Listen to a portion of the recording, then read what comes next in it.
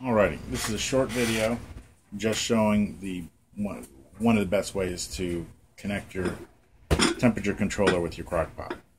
So first off, you're going to plug your crock pot into the back of the temperature controller and you're going to plug your temperature controller into the power. So now we have reading on the temperature controller, we're ready to go. Now there are two ways put your sensor in the crock pot. You could just put it in and lay the top down, kind of rests uneven. Another way is to take the top of your crock pot, take that little handle off. It's just one screw.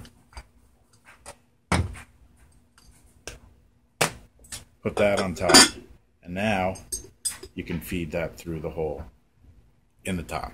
If you need to seal this, you can just throw some tape or uh, aluminum foil, but most times that little bit of a hole isn't going to make much of a difference. And now you're ready to go. Thanks for watching.